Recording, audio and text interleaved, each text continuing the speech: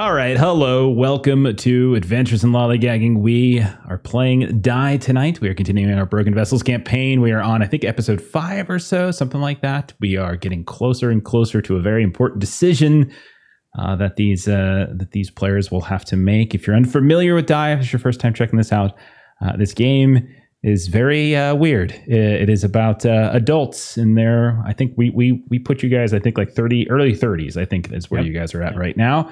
Uh, who have been uh, who are who are teenage friends who uh, they got in trouble in high school, very much like the Breakfast Club. Met each other during a detention, and they started playing TTRPGs. They started playing uh, some role playing games, and then uh, and then they lost touch uh, for a variety of reasons, and uh, due to the loss of a of a shared friend they have all reunited now to to play uh, to play a another role playing game in honor of their fallen friend uh, Stephen, and uh, things got weird. Things got weird as they were magically teleported into the actual world setting uh, of their of their teenage role playing game universe, and so uh, that's what we've been sort of digging with, digging around with the last couple of weeks. Uh, and we'll continue tonight. Why don't we go ahead and do just a quick intro? Just tell us who you're playing, et cetera, et cetera, and then we'll we'll dive in. So, uh, who's up first? Evan, tell us about uh, tell us about your character. Yeah, I'm playing Chad slash artist. Chad is a kind of almost retired, very famous soccer player that completely ignored these people for the past 15 plus years due to his fame and just other things in life. So it's a bit awkward that he's kind of came back and met them, but he's uh plays artist, which was a kind of a childhood character that he had with his brother. That it was inspired by his brother because he was sick, and when he was sick at the hospital, him and his brother would draw crazy monsters and do goofy things, just things to keep your mind off what was actually happening in reality. And so this is kind of the first time also Oh no, that he's really There kind of snapped back to those Okay. feelings of what it was like. Oh, sorry. Um, but yeah, that's pretty much Okay. Fair enough. Uh, we got most of it. There's a tiny blip where you, you you were out for a second or two, but I think we got I think we got the gist. Uh, next up, uh, we've got Kipser. Kipser, tell us about Leaf slash Amery. Uh, Amery was aiming to be a natural scientist, uh, instead got uh, lost in the woods and then had an accident uh, and uh, lost their arm. No one came to visit them in the hospital, which they're not bitter about at all. Uh, came back to to play a game. No, no bitterness here. Came back to play a game one last time with some friends to see if there was any emotion still and uh instead they regrew and their arm into a giant skeleton arm which is really cool and uh they get a big scythe and they they talk to people sometimes just normal normal people that are definitely not gods Yeah, yeah, yeah. Absolutely. Mhm. Uh, I do recall, though, I think something was revealed last time around that there might have actually been someone who tried to visit you uh, in the hospital. Uh, yeah that's not. unfortunate probably not the person you wanted to visit you in the hospital, but someone certainly tried. yeah But he will not be doing that now, as uh, as bad things happened to him last session. Uh, we were talking about uh, high school stalker Mike, uh, so that was good. i slipped and fell and then he was dead i don't know what happened These things happen. These things. these happen. things happen Speaking of making uh, people dead, uh, let's talk. Uh, let's talk about Diala, who, uh, who who just tore apart an entire innocent fishing village. Uh, so, uh, so yeah, Melissa, defend yourself. Uh, no, I don't know if that that's I'll. My yes ending failed entirely right there. Yeah, that's fine. That's fine. No but. You can do no but. No but works too. uh, so uh, Delilah, um, as a teenager, uh, went through a, uh very serious fire, had lots of scarring and all such things. So her paragon Diala is the vigilant knight. Uh, she is always alert and watchful and interested. Uh, she has a sword that is very, very, very mean to her um, and says all of the OCD things out loud. Um, and yeah, she is working on those uh, emotion knight skills, uh, which includes like releasing all of that in fire form. And when other members of the party make the choice for you that your emotional intensity is going to be a little bit more than you were intending, that means that when those emotions are released, it is in a broader area than was planned. Uh, that is my defense of uh, Diala. Gotcha. Gotcha. Just so so you're shifting the blame onto Dread, who is next to go. So Dread, defend yourself. Dread is comfortable with the absolute destruction of that village and simply can't find it within himself to care. So his defense is eh. But back when he was a teenager, Deacon Dread was a swashbuckling theater kid who loved life and had everything in front of him including an evil girlfriend named Michelle, uh, until his father destroyed it all by getting drunk and killing one of his classmates, which eventually pulled Deacon into the life of a mobster's fixer. He problems came up for the mob and he fixed them by whatever means necessary. He's trapped in that life until he fell into this world where he is back to being the dictator Dread and finding that he prefers it here over the real. And that's strangely something that you have in common with our next character, despite seeming like pretty much everything else you do not have in common. Uh, that is Tristan. Uh, Jeremy, tell us about your yeah. character. Okay. Uh, so, yeah, Sean was a very insecure young man that grew up into a very insecure adult who chickened out on some major life choices and is now a single dad and call center supervisor but within the game world, he gets to play the swashbuckling fool Tristan Wade, that's a paladin of Anansi with all sorts of amazing powers that gets rewarded for doing absolute nonsense. And it's just kind of wonderful. Yeah, it absolutely is. Uh, he is absolutely hilarious. And at some point in time tonight, Aaron, as Dread, is going to turn to Tristan and say, Sean, I fucking hate you. And uh, my life will be complete. And that'll be great because it happens every week. All right. Uh, so let's do. Gotcha. Let's do a quick summary. So, as it's already been kind of mentioned here and there, but you all were trapped within this uh, this fishing village, this place called Cinnamon's Lounge. You were getting attacked by Foe Michelle, Dread's ex girlfriend uh, from high school. Uh, also, Foe Mike, uh, stalker of Leaf back in high school as well, was involved. Uh, as were several zombie veterans who was uh, sort of swarming and taunting Tristan for his cowardice and his superficial heroism. but you all handled it. Uh, Dread, you managed to sort of send Michelle off into the shadows with your uh, with your dictator abilities. Uh, I think Leaf just straight up murdered Mike in the shadows, as one would expect. Mm-hmm. Uh, I think Artist probably saved Tristan's life by uh, turning on some jetpacks and getting them the hell out of there. Uh, and Dread, as has already been mentioned, supercharged Diala, and Diala went went pretty crazy and destroyed and burnt down with her this roaring inferno. took the whole village down. Uh, you all, at that point, uh, started to continue your trek northward. You're heading to a place uh, called the uh, the Walled City. Specifically, you're looking for the Sludge Factory, which apparently would give entrance to that city. And the reason being is that you think that's where your elusive uh, dungeon master, uh, Billy, me, the, or slash the machinist, might be, as he as he might have some answers to what the hell's going on. How are you guys here? Uh, all those types of things. Along the way, you've been seeing some weird signs. Uh, this happened pretty much, uh, I think, second or third episode, you start seeing them, but you're seeing them even more recently now. Uh, these like strange signs of like the world fracturing or being behaving in some sort of strange way. Uh, a, a beached whale spoke to you, said, We're all going to die, exploded into thousands of fish who continued to say the same thing and downwards and downwards. Uh, the lights, the sun, sunlight, like the day night cycle seemed to flicker on and off like halogen bulbs.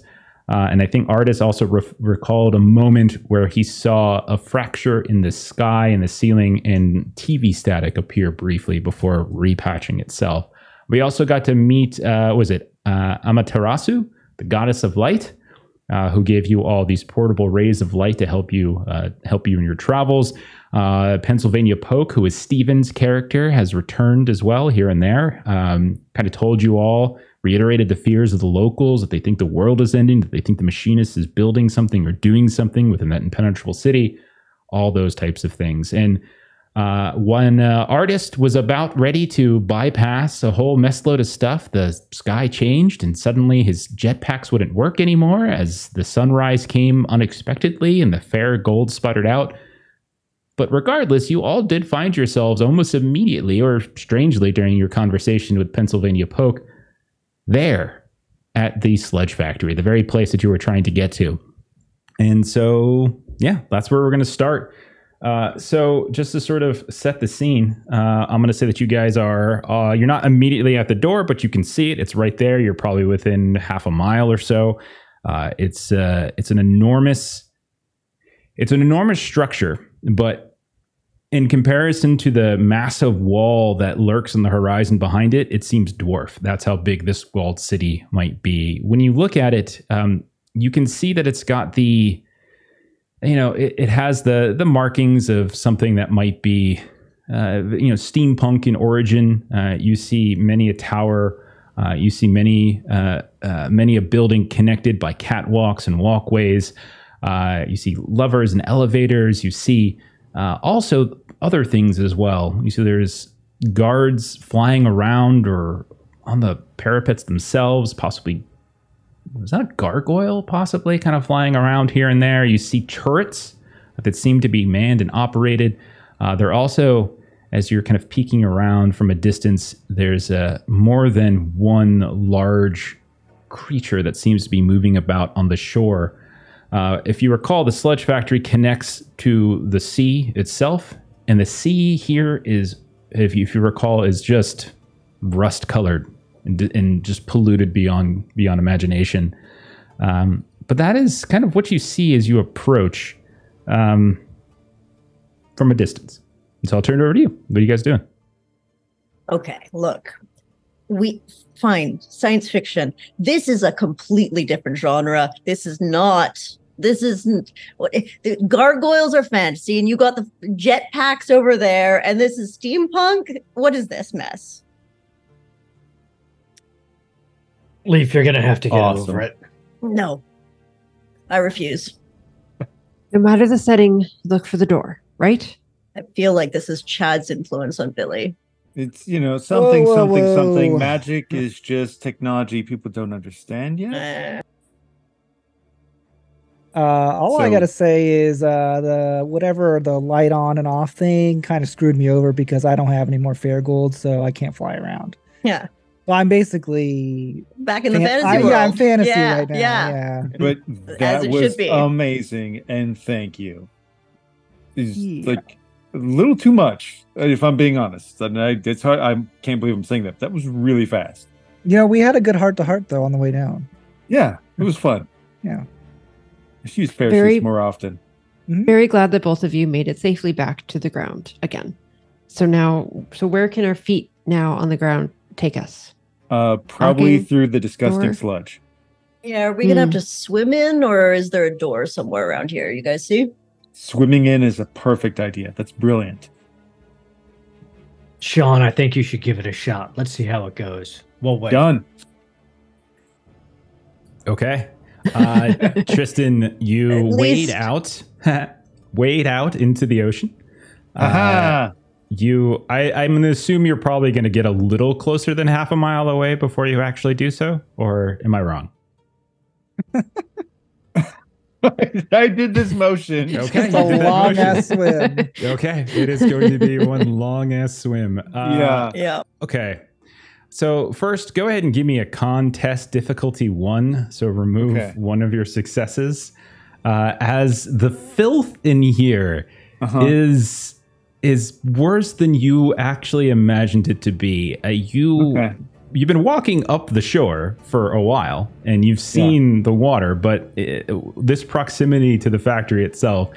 It's not so much like it doesn't feel like water anymore to the point where it almost like there's a viscosity to this that is Yeah. not commonplace to water, and it's getting Yeah. in your ears, your eyes, your nose, your mouth. That sounds really gross, but I'm glad I'm up to four boons on my fool dice. Okay. And I somehow. Oh, no, I did, because that's my one. So here's the thing it's difficulty one. It's difficulty one. So I got one success, but I did get a fluke. So I somehow Okay. fail but Okay. with some sort of fluke. So let's see. So you all on the shore, as you watch Tristan swim out uh, a ways, he is moving very, very slowly. More than once, you hear him cough up and gargle whatever it is that this uh, that this liquid surrounding the the factory is. And at a certain point, you just watch him just just disappear. Uh, he is just Oh. not visible to any of you anymore. He has either he he got pulled down, or something pulled him down, or he just drowned, uh, and you just see him. You just see him disappear. Uh, and I'll, I'll narrate the fluke in a minute, but let me get everyone else Mhm. a uh, a chance to. How do you react to that moment? No Okay. Reaction. Well, look. Dread Maybe- goes, hmm. All right, we've we're gonna have to walk around then. Well, clearly, that's not the way to go. I Yeah, figured. yeah, I figured we'd get a little closer first, but he just jumped in. Right. And we're like heroes. You can't just drown, right? I mean, he'll come back up. We'll just Oh, there's no way he's actually He's probably only though. gone really like 15 feet from us. We'll just walk up and go where his body was last seen and wait for him. I'm yeah, we might be saving saving Tristan. You're really n- none of really none of you, and Delilah's gonna jump in. Okay. Oh, Aw. so Sweet. Diala or Delilah, uh, you uh, what do you prefer? Do you prefer us to refer to you? I think you're in your Paragon form, so it's Diala, Diala. sorry. Yeah, sorry. Diala, you go rushing out to help Tristan. Uh, you swim out, and it, and I'll also need that contest from you, uh, as you two are effectively, if you fail this, getting sickly, and you're going to take uh, essentially a point of damage uh, temporarily uh, until like this sort of situation passes. Meaning, until you gain entry into the sludge factory, your guard's going to be down uh, that if that's what you took. Um, and you can't find him. You're looking, you're searching. Are you opening your eyes? I mean, you kind of have to, I would imagine, look for him. Um, I I have my uh I have my sword out that I'm Mhm. poking around Okay, just in front of me. and poking and stabbing. And he just- stab, stab. Inhales a whole thing of this liquid. At a certain point, you do reach out and you stab something, and it gives, and it and it's the same feeling that you have whenever you uh, whenever you stab a person uh, or Okay. or a creature. It has that kind of give. Uh, so my rolls, by the way, were two sixes and a two.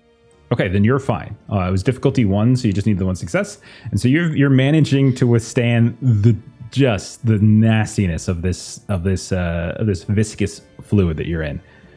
But when you pull the when you kind of use your sword to sort of pull up whatever it is, you realize it is not Tristan uh, that you are pulling up, but rather this large mutated looking tuna uh, that has several eyes. Uh, it looks very much like an episode of The Simpsons where you see these three big bulbous eyes and kind of this orangey color, and it's and it's I don't know if fish don't have tongues, right? Yeah, like if you just see something spittling out their their mouth as you lift it up, and, and it slowly Fish you know, goes back in the sludge. and it just starts to float on the surface. Ah, It was a That's mercy when- killing.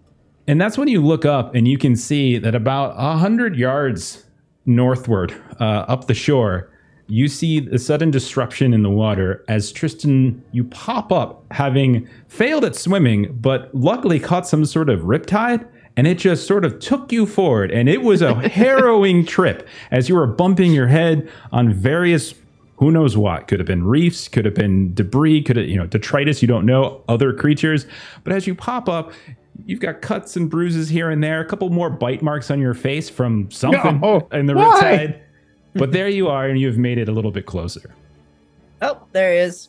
The water's fine. I mean, it's not. This was so avoidable. Um, I'm not sure why.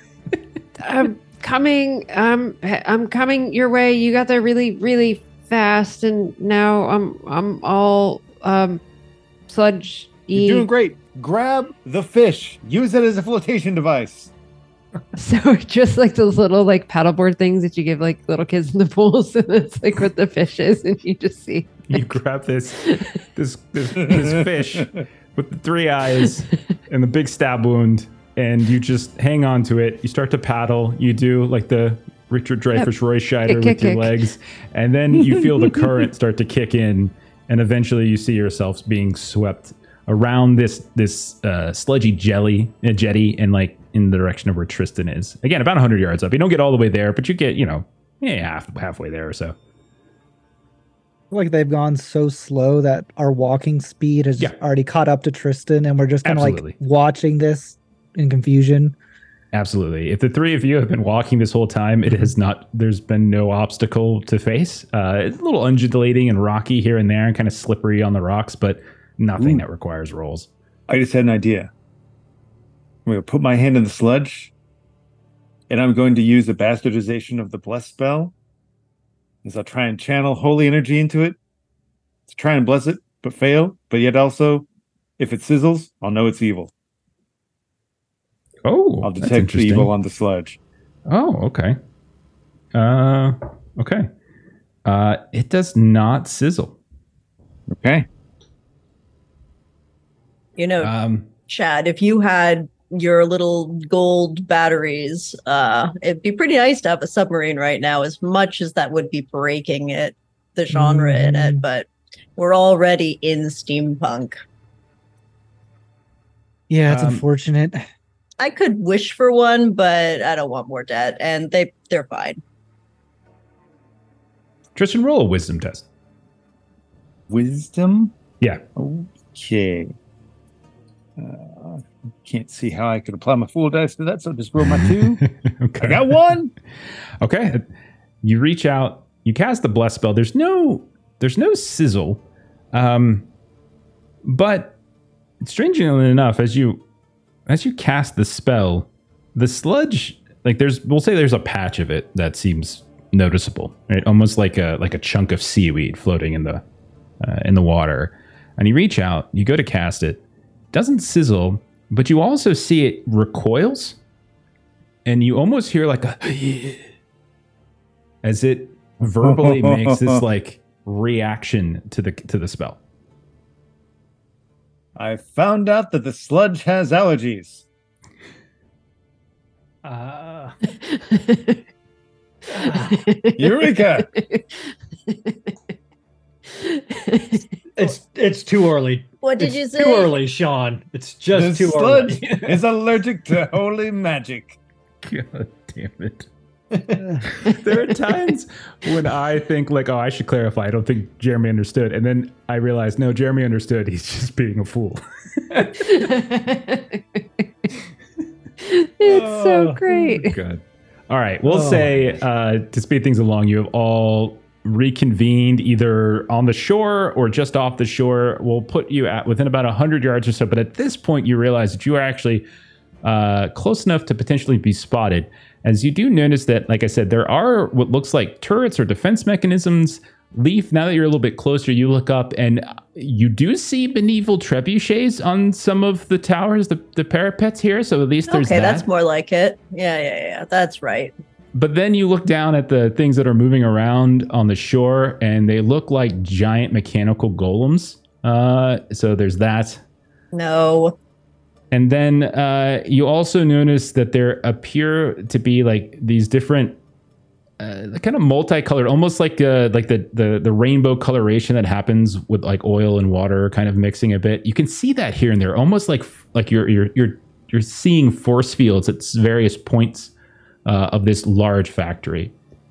Uh, I'll say that because you guys are smart enough, you probably can quickly step out of the way and hide behind a rock or something to not immediately be notif- noticed. But it's just how do you all want to go about handling this to get in there or whatever it is you want to do? There's not one noticeable entrance, but it looks like there could potentially be many entrances as there's various windows, various doors. There's probably something beneath the water if you really wanted to brave that. Um, there's all sorts of ways that you can get inside. So it's really kind of just up to you all how you want to handle it. Oh, we tried Uh, going through the sludge. Anyone else want to try something different? I mean, that idea was really good. Thank you. Yeah, you guys mean- seem to really enjoy it. Yeah, that's really gross. Um, we could knock out five of the robot boys that uh, are just down there and see if we can't wear the suits in? Yeah, I mean, I could try and see if I could find like blueprints or something through Adam. Now that sounds like a good idea. But I'm gonna jump in the sludge first, and then I'll do it because that makes more sense, right? I'd really prefer not to I- have to I do can't do that. The people up above in the turrets are used to seeing strange objects in the water. So you cover yourself in the sludge, flop around all funny. They have no reason to suspect you. Right. Or they're used to shooting things that are coming out of the water. I don't see many arrows in the water. Anyways, artist is gonna go to a nearby rock and spray paint a computer and start googling sludge factory blueprints, most recent. I love that you just spray paint like an interface. Yeah, it use. makes zero sense, right? But it, that's just what we see. It's so good.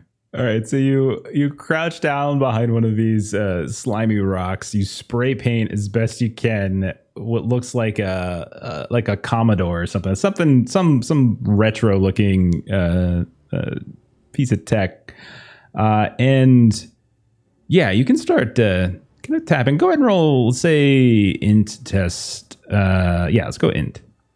All right. As you start seeing if there's any, any One way to gain information. one success. Okay, so you realize as you start tapping into this into this system that you just created, and you even hear Adam kind of kick in. I sense ley lines in the area. There seems to be a network of magic saturating the place. And as Adam's kind of going through that, you start typing in, and we're seeing the sudden, uh, like the sudden appearance of code show up on your screen. Uh, but instead of it being laid out in a way that is alphanumerical, it's runic. And you can see all these different arcane symbols stop, start to pop up here and there. And you realize there is this magical field that seems to be uh, kind of surrounding this entire locale. And you are just on the edge of it. Uh, and then as you continue to mess around with it, and you can hear the voice, you know, of Adam kind of directing you, and some of those arcane symbols are quickly translated, you're able to pull up uh, a partial schematic. Uh, and so, what you basically would get from this mechanically is that as you guys begin to explore this place, uh, there's going to be like you have to kind of do you know rolls to progress and such as we kind of da- you know dig into that um, uh, into that uh, what's it called um, like kind of the skill endeavor, the delve. But with this schematic that you have, uh, you can roll some of those at advantage. So it'll kind of give you boosts to potentially like pro- progress even further. Uh, in terms of entrances, like I'll say right for now, uh, there are a few modes of, of ingress that you can definitely tell. There seems to be uh, sort of a, a pump intake below the surface. So you could probably get through that. Uh, however, it could be dicey considering, uh, you know, if the mechanisms are, are at work. Uh, there does seem to be this uh, sort of on the on the rear side, kind of on the north side, still in the water. There seems to be sort of a loading dock area that you might be able to find your way in through there. Uh, and also some of those larger parapets. There's two very very tall ones are observation towers, so you could potentially scale and kind of climb your way in there as well. Uh, so those are probably three that I would say stand out to you as you look at this. All right. He will, uh, with his other hand, just kind of swipe over the spray paint. You just see the interface disappear. And he'll relay the three options. Well, I'm not one for going through the pump station. Scaling the tower seems like it's going to leave us pretty exposed, so the loading dock sounds like the obvious choice. What do you think? Hmm, Do we want to hitman throw some coins out and attract some of these guys down there to see if we can't steal a little bit of their kit to wear uh, before loading dock? You sound like mean- you really like those. We can give it a shot. Yeah, you really want to be sci-fi. It's kind of weird, but uh, Uh, no, no, no, no, no. those no, are the no, sci-fi I guys do right not, there. No, no, I mean, if we it's- find Fairgold, I mean, my gun can shoot from anywhere I can see. So I mean, I could go back to the ocean and start shooting people. But until then, I'm just kind of, I'm a normie. What can I say? You just mapped out this whole place. You're no normie. I do agree the loading dock is probably the best way in. Certainly sounds the cleanest. Do we have I any was like sort of excited to... to climb. It would be cool to be up there and be able to look at everything, but probably be. not the smartest way to go in. Do we have a way to get to the loading bay that's like secret, secret, sneaky? Anyone have like fogs or something we can cover ourselves up as we get closer? Or I don't know. You guys can do some crazy shit. Mm. if we get close, if we get close enough that they can hear my voice, I can potentially blind one of them from our presence, but not a whole group, not easily. Hmm. Hmm. Me. So if I'm wondering if this is a way, so with emotion draining, obviously the emotion that I have is vigilance. Oh. So if we were to find guards and I were to drain their vigilance, it says that the target's behavior changes proportionally. So would they then not care about being vigilant if I can drain their vigilance from them? It sounds like that makes a lot of sense to me. If that's what you want to do, yeah. That's so cool. Now, if, ever- if all else fails, I'll Deus Ex Machina and we'll get through. I'm pretty sure one of those gods are going to eat you and soon enough. But Eh, you just make a few deals. It's all good. can we see like the path that would be to the loading bay? Like, do we see a lot of guards towards that Yeah, area? Or So it's not like you're seeing. It's not swarming. Like the outside is not on the ground. It's not swarming. But you do see they're very large. Uh, they do seem golem-like, automaton-like. They they definitely have that kind of look to them. They're much bigger than you all. Uh, you can tell just from this distance that they're not just the normal heighted five to six foot. I'm sorry, five to six foot four person. Uh, they look much taller than that. Um, but you can see that there's a couple paths around. Like there's a, a hill that kind of goes up inward uh, away from the ocean. You can perhaps wrap around that way. Uh, but there also is kind of a you know there's slopes there. Uh, and that does come underneath what looks like one of those parapet observation towers. With, so it's possible you could be seen from above. Uh, you also could try to skirt around and kind of underneath this dock and try to make it to the rear side of the factory, but that would also take you past some of these golems and things. So no matter which way you take it, like, it's still going to require you to either come up with a really good strategy or just rip a rip some dex tests to see if you can stealth your way there.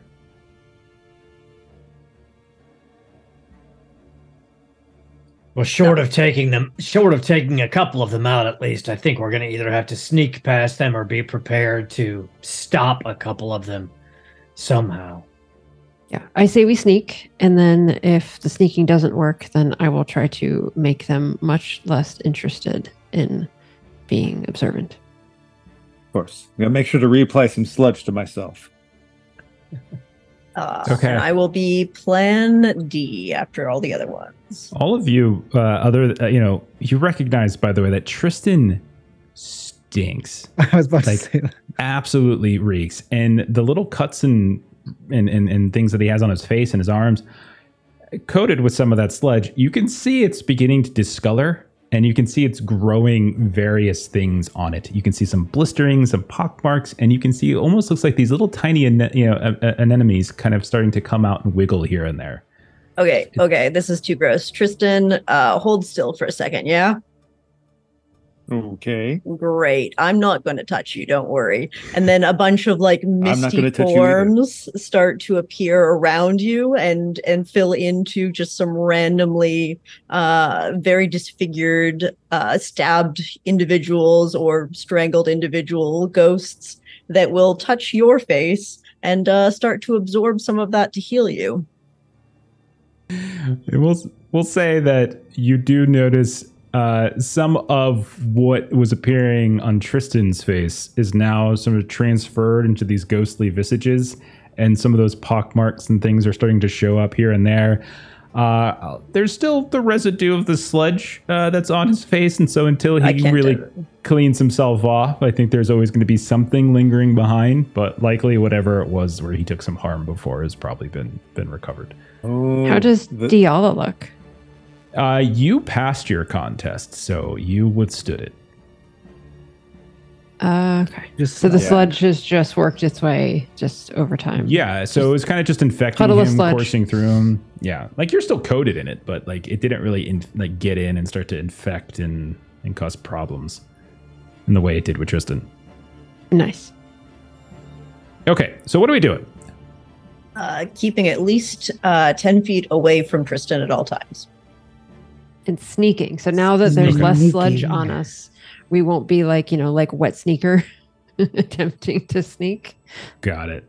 Uh, okay, uh, so let's go ahead and uh, I think if I remember correctly, Tristan, Artist, you both have three dex. Diala, Mhm. Leaf, Dread, you all have two dex. Uh, is anyone kind of trying to lead the way through, or we all just kind of, you know, we can have, we can have one person just try to lead the group through, uh, or um, what we if ever if we don't want to necessarily handle it in that regard, we could just have everyone roll if we want to do that. I mean, I've got natural camo on.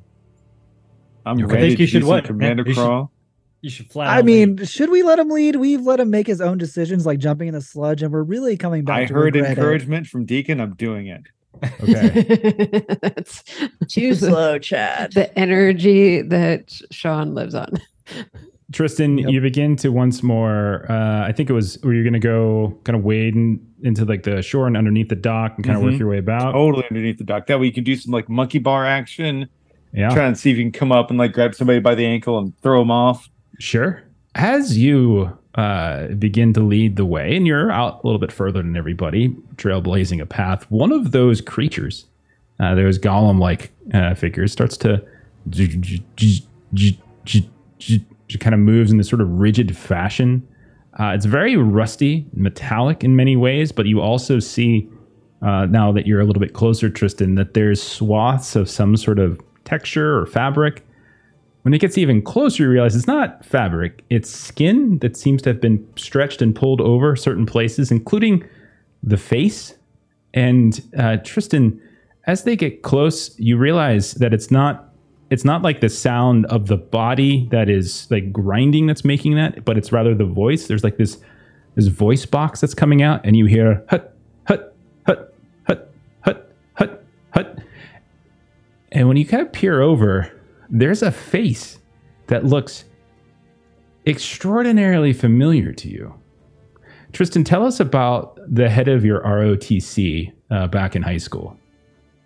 Oh my god, David Harper, that son of a bitch. He was all about powerlifting, but the thing was, he was only five foot two with a barrel chest. Of course, you can bench press 500 pounds when you've only got to move your stupid little T Rex arms three inches, you son of a bitch.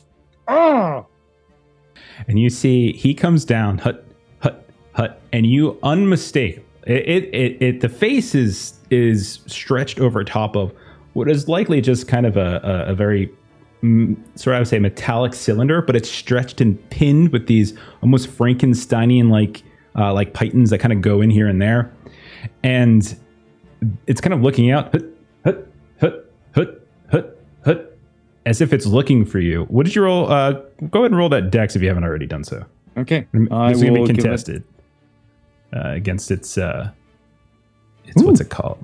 It's aware or it's a. hang on, Got let me double two. check something. Who's not bad? Okay. Uh, sorry, one sec. I totally lost where I put this thing's stat block. You can't up with gotta that remember name that so his neck muscles are too swole, so he can't look up at this angle.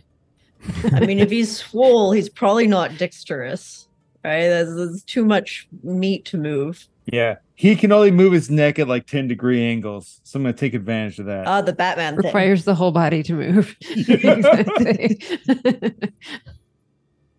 Okay. Sorry. Uh, so yeah, it's not going to be contested. It was just going to be uh, difficulty of one, and since you got two successes, you're okay. Like you, you're right underneath it as it gets kind of to the edge of where you're. You're kind of hiding behind what looks like this this old gnarly pole uh, post holding up part of the deck, uh, the dock here, and it looks around like it's waiting, waiting, waiting, waiting, and then you can see a second one is starting to hut, hut, hut, hut, hut, hut, hut, and then the one that's down by the shore by you turns about face and begins to start moving back up, and they're just kind of moving in this this basic century path. But as you're watching the second one come down, likely it's like you saw you know, you saw the first one. That was that was kind of peculiar. But as the second one comes down, you see the same thing. Like there's a face that looks very very familiar. Uh, Tristan, was there uh, maybe a, an army or or a navy recruiter that would come to your ROTC in high school and try to sort of get folks within uh, within the ROTC to maybe sign up? Yeah, uh, Glenn Russell, real folksy, kind of southern guy. Just uh, not the biggest dude in the world, but just kind of you know charming and nice. And uh, they kind of had the thing where like this smile would go up wide, but the eyes stayed kind of glassy and dark. Mm-hmm. And you see that smile is has been pulled, like the face as it's been stretched across the metal cylinder.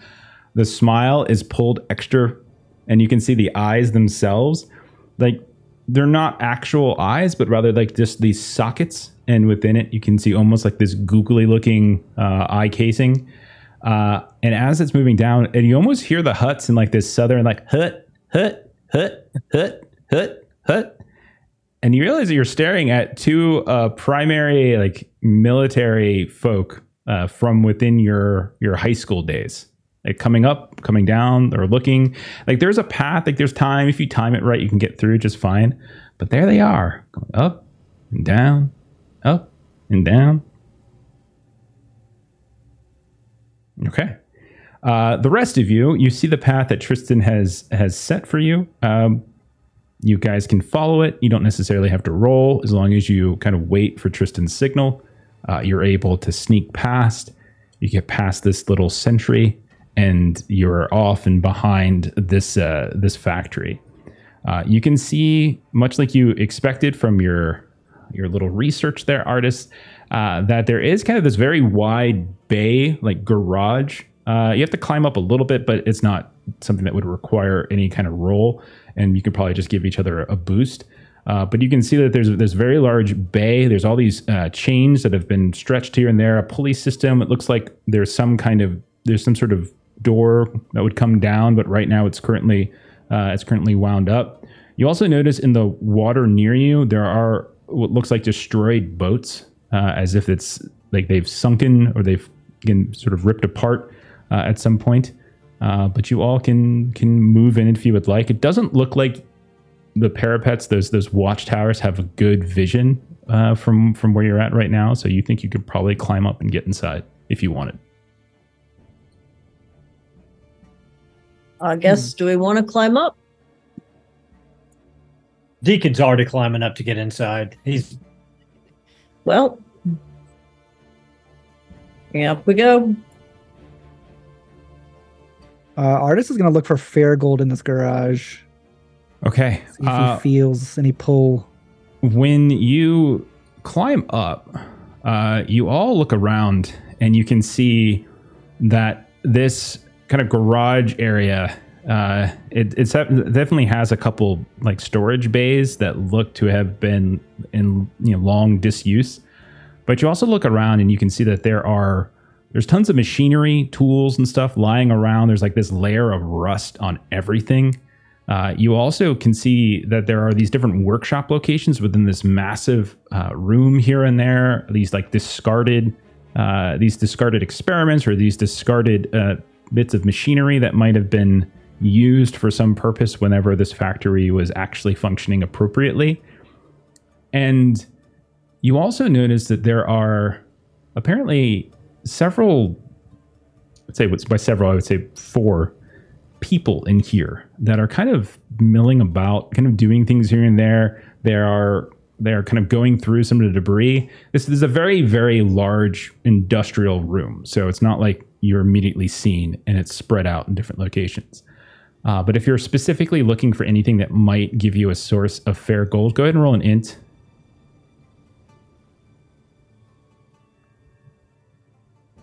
Are these people wearing the Letterman jackets? They do not appear to be. No. One. Okay. Uh, you do see on the far side uh, of this this large this large bay, this large chamber, through where a couple of these folks are milling. Uh, you can see that there is like a workshop bench, and on it there is kind of this. There's there's a, a, a fragment. You're not sure if it's metal. You're not sure if it's Uh, if it's like porcelain or something like that, it's just like floating over top of the workshop bench, and there's this glowing aura around it, uh, and scattered all on the ground near it. There are all manner of similarly shaped, similarly broken, similarly glowing objects. They're just very ever so slightly kind of glowing on the ground here and there. There's probably some fair gold over there. Now, Dread, you were one of the first people in here. When you look around, you notice that the ghouls in here, uh, these these people kind of milling about that are just sort of going through some things, they also kind of look a. Uh, they look kind of familiar as well. Maybe you just have Michelle on the brain after what just went down at Cinnamon's Lounge. They don't have the Letterman's jackets on, but man, if that doesn't. That Tony? And you remember as it starts coming back to you now that there were friends. Like she had friends and you had friends. And when you were when you were at the like the heyday of of Deacon's like high school career, when he was uh, kind of big man on campus. He was dating Michelle. He had this this. You had friends. I use the term loosely that would linger around that would kind of flock to you. And one of these, like you see a guy you might recognize, Tony. There are a couple others. Um, tell us about one there, Deacon. Who's who's one of these kind of you know hangers on for you, like during you and Michelle's relationship that completely ditched you and made you oh, a yeah. social pariah? Davy. So Davy, he was a year behind us. Uh, good kid. He was that, you know, that kid who's always running up. I, can I carry your books? You know, hey, you know, what's going on? What are you doing after school? Actually, was actually in love with your girlfriend. Had a thing for Michelle, but too cowardly to, to, to make a move or even talk to her, really. But, uh, you know, he was there every day. Every morning I walk in the school, he's waiting for me. Every day at lunch, he's like, Hey, can I go get your food for you? Every day, every minute. He was my best pal till that one day I walked in. And that day that Michelle gave me the cold shoulder, and then Davy, he just sort of evaporated. And as you're looking in that direction. Like there's a little bit of light in the room coming in from the outside, but there's also what looks like some lanterns, like illuminated sconces on the wall. You see the the face kind of turn around a bit. They look gaunt. Davy does. Uh, eyes sunken a little bit. They don't have the same kind of look that uh, that you know that the Fallen did when you were when you were fighting them in the diner, when you were fighting them elsewhere. Uh, they they certainly look intact, but they have this. There's a, underneath that that gaunt look. There is that kind of boyish teenage visage. It you probably don't even know what he looks like now, but he looks just like he did then. He's got a social D shirt on, social distortion shirt on, kind of wandering around. He's got, you know, his uh, his baggy pant, you know, his baggy shorts with the with the wallet chain kicking back to his to his uh to his back pocket, and uh, you're confident that that is him. Uh, and then as you peer around to the rest of the room, there's others as well. Some of them are maybe Michelle's friends, you know, someone that, you know, you know, she would kind of confide in, tell secrets about you, others here and there. But all four of the people in here definitely seem to bear that striking familiarity. Maybe you don't remember all their names, uh, but you certainly remember their faces, and their faces are quite clear. So this is what you all see.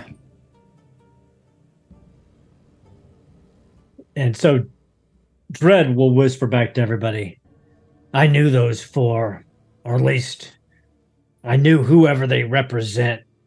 They were punks from our high school, hangers on. I don't know what it means here, but we can't seem to get away from our past. Yeah, I remember them. They were like your little minion group that followed you around for, well, until the problem happened. Yeah. Well, well do we want to question them or do we want to just try to sneak by? Let me let me get some help first. And um, Leaf is going to put her hand onto the ground and have like a pulse of green magic energy kind of rum- reminates out.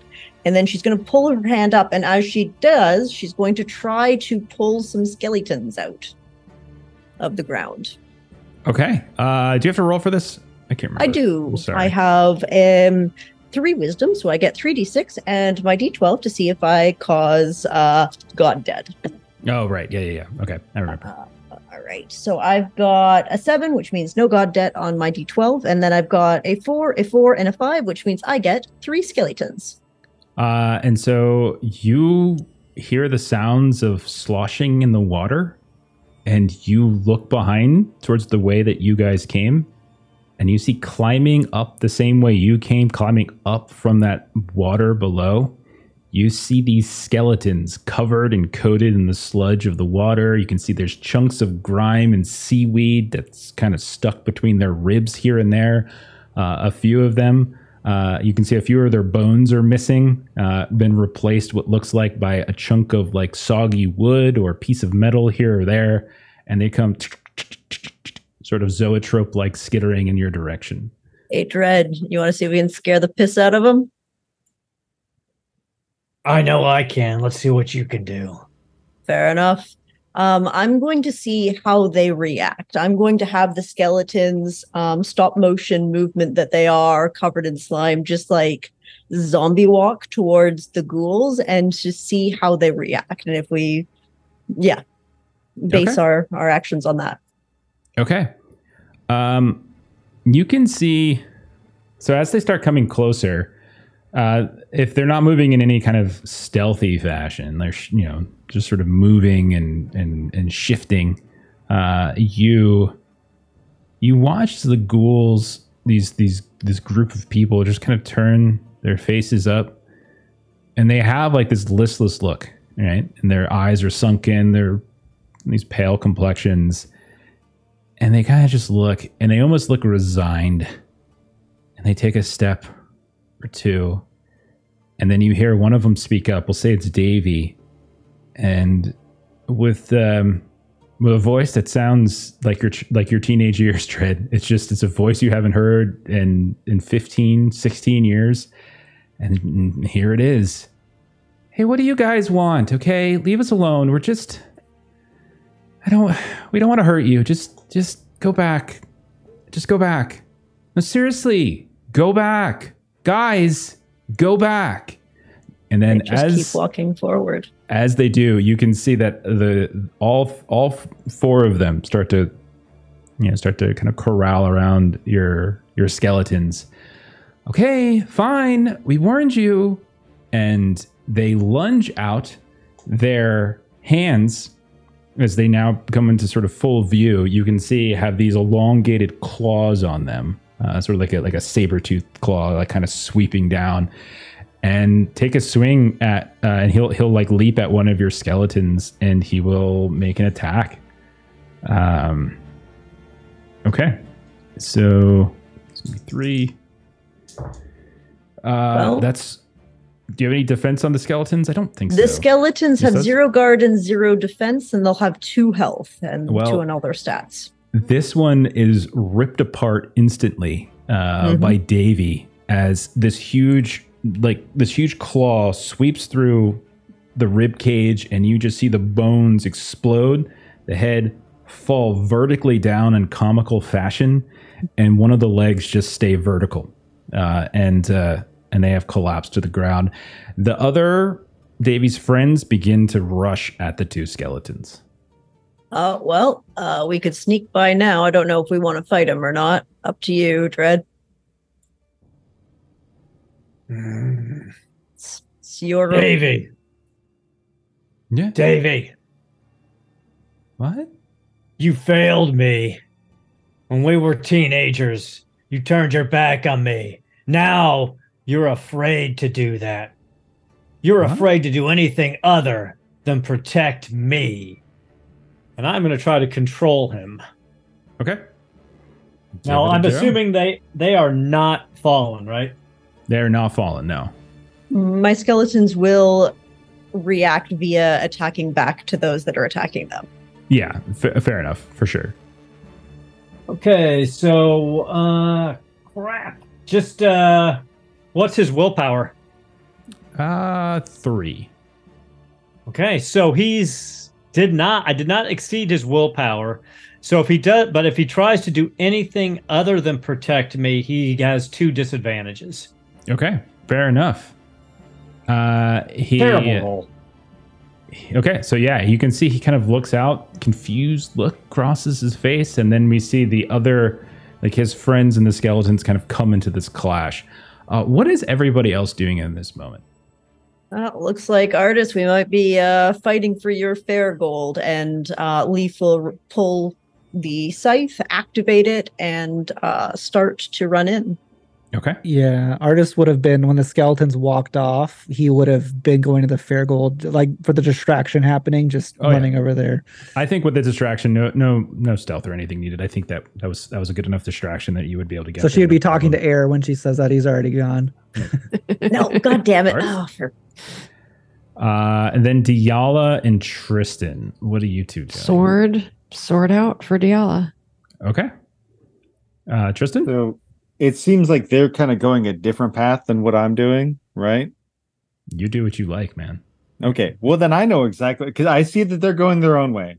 And I now understand that I'm meant to be the one that will draw attention away to help them do what they're doing.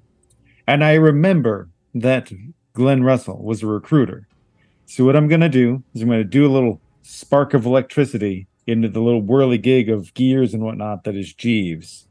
Okay. and I'm going to try and activate Jeeves to go up and knowing their like patrol routine they're doing, I want to basically I have to roll to cast it first. Okay, So so wanted- the so the, the the patrol routine that was out. You guys have climbed inside the We're, back. okay, we're past Yeah, that. you're inside. You're you've bypassed them by stealthing underneath. we got them. the You- fleshy ghoul fight Yeah. now. we're actually inside a large, car, like kind of cargo loading bay area. Uh, artist has snuck around to the far side and seems to be inspecting this glowing workshop.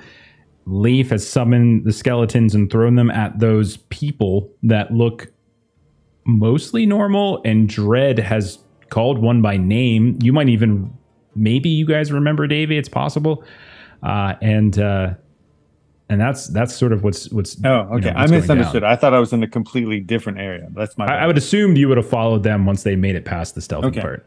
Yeah. Hmm. Well, Fighting or sneaking? You can do anything you want, to be honest. Like you don't have to it's not a binary choice here. I said I was going to use Jeeves before I misunderstood the situation, so I'm going to stand by that. Okay. Um, I'm just gonna like I'm gonna keep sneaking in, and it seems like Deacon's already dealing with Davy, but one of the other ones, Okay. uh, you know, maybe they've got like the appropriate '90s emo sort of look. They've got the little chains on. yeah. Little Jeeves is just gonna go walking in. They have dark look like clothes. you need a hug. yeah, they have Just, dark like, clothes and their leg. Hair drapes over one side a little bit. Yeah. Okay. Yeah. I'm just gonna have Jeeves go in there and hug their ankles. So we'll say two of them are are kind of entangled with Leaf's uh, uh, two other skeletons. Uh, Davy seems to be confusedly looking at at Deacon or Dread, and so Jeeves goes up towards the third, and you look like you need a hug. Okay, so what what is so what is what are you trying to accomplish with this? Basically, just the it, it is a very loving grapple attack. Okay. Like because Jeeves legitimately thinks that they need affection. Roll a charisma test. Two. oh god. Are you kidding? Okay. Um two? Yeah. All right. That'll bypass any defense. And you hear like, what? Get off me, man. What? No. What? I'm gonna turn that frown upside down. Well, hey, little guy. You shouldn't be in here. And he kneels down. Uh what are you lost? What's what's wrong, man? What's what's going on? Don't worry. They're not gonna hurt you. It's fine. You're okay. You're you're okay. And he starts to pet Jeeves as if it was like a dog. You're okay. That's a good whatever you are.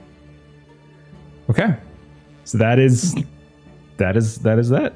Uh I'll say, Tristan, you recognize the guy too, as now now that he's turned around and starts hugging Jeeves. Uh, do you know him? He's one of the guys. Uh, he he you definitely would have remembered him as being part of Dread and Michelle's entourage when they were an item. Uh, do you know this guy, Tristan? Uh, Sean doesn't know if it was really his real name, but he said his name was Paris. okay. I, there was that's a dude from my high school. Like legitimately, God, there was an emo dude who called himself Paris. So this is Paris. Nice. Man, I feel like so much of this game is calling out all the bullshit people that annoyed me when I was in high school. Like that's I feel like that's what this is. Oh, I love it. So Okay. far, so Yeah, far. that's what it feels like. Oh, this is great. I everybody that I've named so far is a loose amalgamation of somebody that I really knew. Yep. okay. Uh, all right. So Paris is talking to Jeeves and does not seem to be uh, paying too much attention. Uh, okay. So if that's the case, uh, I'm gonna have um, I'm gonna have the ghouls. Uh, well, actually, why don't you get leave? Why don't you get an attack off with your skeletons on these two other ghouls if that's what you're doing before I go? Uh, yeah. You okay? So I have two skeletons left. Do both? Uh, do you want me to attack with both of them or just one of them? What, however you want to handle it is fine with me. Okay. They're they're both essentially going to have their slime sludge covered hands uh sort of swipe at the uh, one of the ghouls and you don't realize it right away just because of the amount of gunk on there but they're actually clawed little shaved bone bits uh Okay. underneath that sludge um and that is two hits on one skeleton and two hits oh man these dice are rolling well for me today they didn't Okay. they didn't on tuesday They do have they do have one defense, so but Okay. so one of those will still go through. Uh, so So both of them do one damage each. exactly, yeah. So I'll take that from guard. Uh, all right, so both of them have started to take scrape. You know, they you know they you see the scrapes starting to appeal appear in some of that kind of pasty, uh, the the pasty skin of these uh, of these people. Uh, and I think everyone's kind of done something. So I'm going to go ahead and do a round with my folks. Then um, I'll have those those folks who were just attacked hit back on your skeletons. Uh, first one, it's three fives. Uh, so that one rips apart um, your, your your your your second skeleton. And then, oh my god, two fours and a six, uh, and the other one also rips apart uh, your your skeleton. All three of your skeleton have soaked damage for sure, uh, but they now are in piles of bones on the ground. All right, so Davy, Davy looks up and sees you, Dread. You can't tell if there is a flicker of recognition. They don't. They, they certainly don't say your name, but you hear you hear them kind of under his breath just say dictator you know just like recognizing at least what you are. Uh, and you can see that there's a you're not sure if it's fear or if it's admiration or something. Um but they they i mean like their their friends are fine so i don't think that they would care too much about that. They would walk towards you i think. They would just walk very calmly towards you like hey um what are what are you doing here like you you look like an important person kind of surprised to see you someone of such important you know around here like what's I'm here to find you. I'm here to find you, Davy. You're here to protect me. i am You remember that now. do i am i supposed to maybe how do you know my name Davy, I'm Dread. Of course I know you. You're the one I came for. Yeah. I'm sorry. I just. Maybe I was wrong. Maybe you aren't that important. Yeah. You look pretty small, actually. And kind of unimpressive. I don't know why I ever really cared about you at all. Uh, and so he will attempt with two difficulty to lunge out in your direction at this Mhm. point, I think. Uh, okay. So let me roll it. Uh, I'm rolling. I'm on fire tonight. Six six four.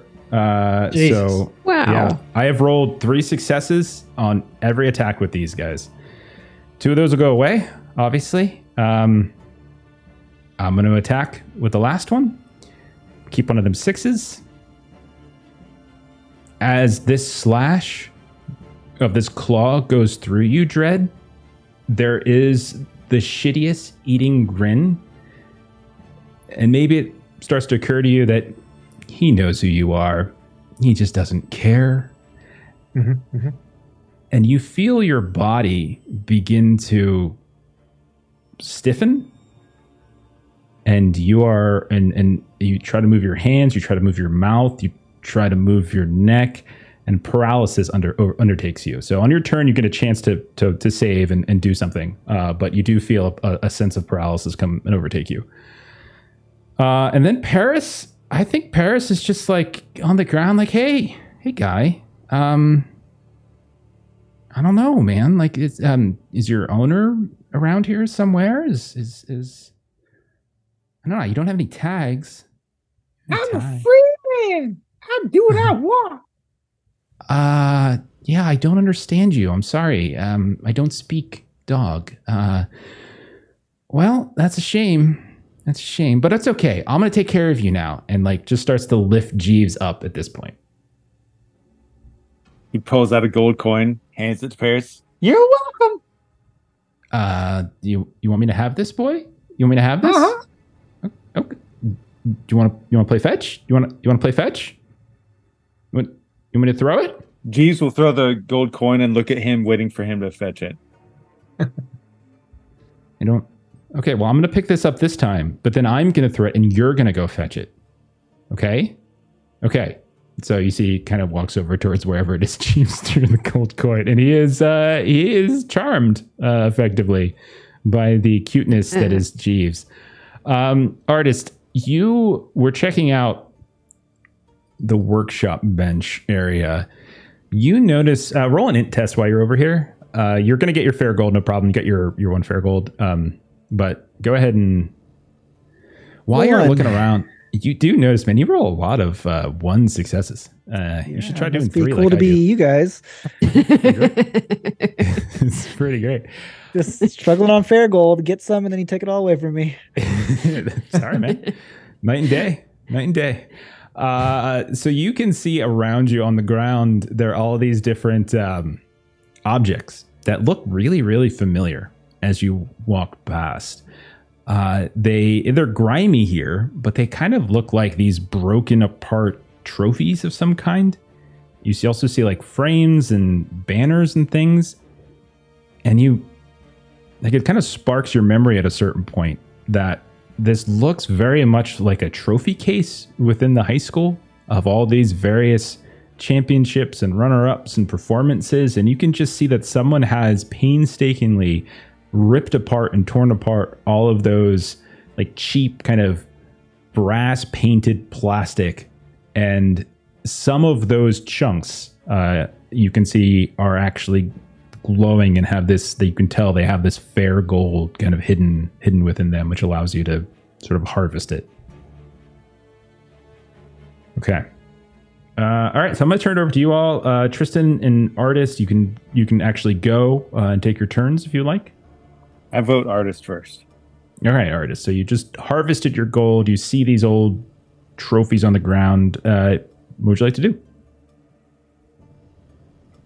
Ah, okay. Um, yeah, he will kind of be able to pull and collect them with a little confusion due to like the big differences that he's experienced with like previous fair gold, and he almost feels like it's a little personal.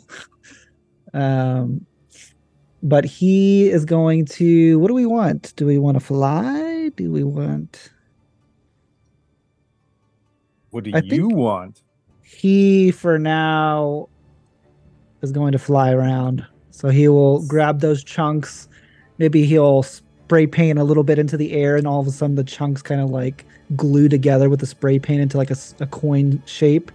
And then he will put it into his high top shoes and start to fly. And I think he's gonna maybe try and fly, like, sneak up to the observation tower and try and get like a bird's eye view of what's happening because I don't think he wants to really deal with the fight, and he's gonna pull out a gun probably, so it'll be loud. Okay. All right. Uh, so you're gonna need to make a dex to fly outside and up and avoid these like sentry turrets and things to see if you can uh, move past it. Uh, I am going to. oh, and I get a D10 too. some stuff to see. Two successes. Okay. Uh, you do manage to get out and sort of up in the direction of one of those observation towers without, it seems like, getting shot at by any of these uh, any of these devices that are being currently manned, operated by what looks like either those like uh, automaton like creatures, or in some cases, uh, some of those just normal looking folk. Uh, okay, Tristan, let's go over to you. Uh, and what do you want to do? Um, I mean, so what? I'm trying to think of like what sort of stuff would be in this room. Like we've we had the trophy case nearby. Um, It's a large cargo bay. Uh, there's a lot of old, broken down equipment and crates, and looks like a workshop at some point on one side where there's some broken tools and things. So there's lots of stuff like that. So you can, Okay. within reason, any anything that I mean- kind of fits that mold would probably be here. I think at one point it was kind of like trying to kind of stealth away, have Jeeves do the hug attack, but then seeing his good buddy Deacon being paralyzed, Tristan will come running back, kind of jump off of a crate, do like a big flying Superman punch. All right, who's big now? Ah, flame punch okay, this is on Paris. on no on uh Davy. Davey. On Davy. Okay, so you're running over towards Dread, and uh, okay, so you're trying to defend with your Yeah. flaming punch. He's gonna flame punch, and everyone knows he's Sonic covered in flammable sludge. So all of a sudden, Okay, you flame punch. Uh, okay. Uh, I really hope I don't roll a six. there goes the rest die. of his hair. I mean, that the, defensive the- one. there was oil in the water as described. It's true. It's true. Okay. Well, fortunately, my fluke was on uh, the negative fluke. My cross was on a six, but I rolled a five on my full dice. But I got a six, six, five. Okay. Nice. Two of So- those go through. Yeah. With a flame punch, if I get a six, he's going to have ongoing flame damage. Okay. All right. So it's gonna be two damage first. Okay. Because there were two successes, and so that'll clear through his guard. Uh, so his guard has been cleared through, and then he has ongoing flame damage. Does it say how much ongoing? It's it one. one per I think you can only. I think a special can only proc once. It's not like Okay. he gets two because he got two sixes. Okay. So he basically has to choose between either spending his action to put out the fire Okay. or taking the point of fire damage. Okay, sounds great. Uh, so and we'll say he he does. It is the oil. He is like he's not. He wasn't waiting around in the water like you were, but he is. You do see he's kind of coated here and there in this sludge. So some of that does catch on fire.